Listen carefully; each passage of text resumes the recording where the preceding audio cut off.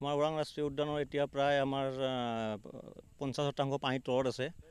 আৰু আমাৰ চল্লিছটা ওৰাং ৰাষ্ট্ৰীয় উদ্যানত বন শিবিৰ আছে। তাৰ চল্লিছটা বন শিবিৰৰ বিছটা এতিয়া পানীৰ তলত আছে। মেক্সিমাম আমাৰ ছয় ফুটলৈকে আমাৰ পানী হৈছে আৰু মিনিমাম আমাৰ তিনি ফুটলৈ পানী আছে কেম্প ৱাইজ জীৱ জন্তু বৰ্তমানলৈকে একো ক্ষয়- ক্ষয়ক্ষতি হোৱা নাই। আমাৰ নিৰাপদ স্থানলৈ জীৱ জন্তুবিলাক যিবিলাক হাইলেণ্ড আছে তালৈ যাত্ৰা কৰিছে অলৰেডি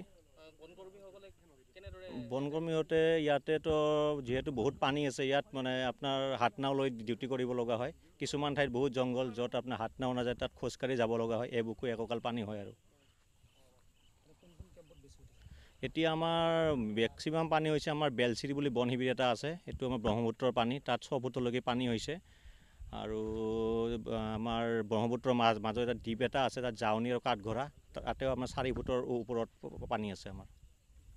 মেক্সিমাম কেম্পত আমাৰ চাৰি ফুট পানী আছে। গড় য'ত য'ত গৈছে গড় বাঘ এইবিলাক ওখ ঠাইলৈ অট'মেটিকেলি তেওঁলোকে গুচি গৈছে। লগতে আপোনাৰ আমাৰ পশুবিলাকৰ নিৰাপদ স্থান বাছি লৈছে। আৰু জীৱ জন্তুৰ খাদ্য সংকটত পৰা নাই যিহেতু আমাৰ ইয়াতে ফিফটি পাৰ্চেণ্টত পানী হোৱা নাই। গতিকে তাতে এভেইলেবল ঘাঁহ আছে গ্ৰাছ আছে।